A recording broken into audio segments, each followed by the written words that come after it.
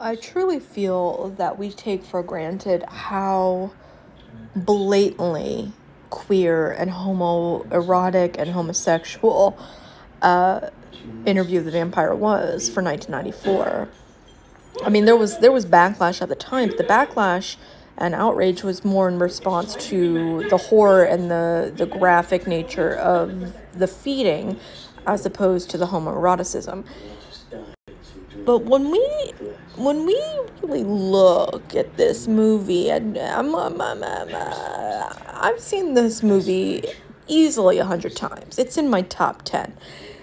The, the scenes between these two, and, and specifically the scenes, the very few scenes between Louis and Armand, you, I mean, listen, Neil Jordan knew what the fuck he was doing, okay? He knew.